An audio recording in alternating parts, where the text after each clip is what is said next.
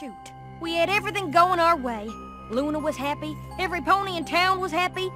Now look at them. but I want it to be a zombie next year. it's not over yet. What are you gonna do? I'm going to do what I do best. Lecture her.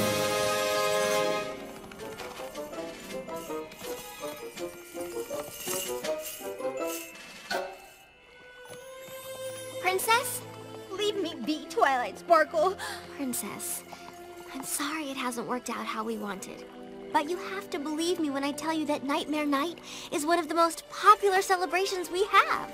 Yes, I can tell by all the adoring shrieks of the children as they run away.